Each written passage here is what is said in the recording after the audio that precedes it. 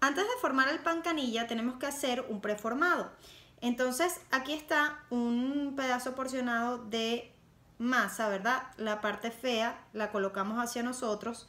Como se dan cuenta el mesón está enharinado y procedemos a hacer una especie de rectángulo con las manos.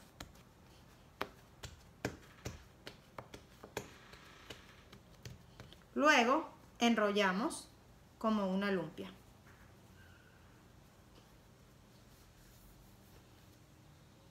Y lo dejamos descansar tapado por 15 minutos.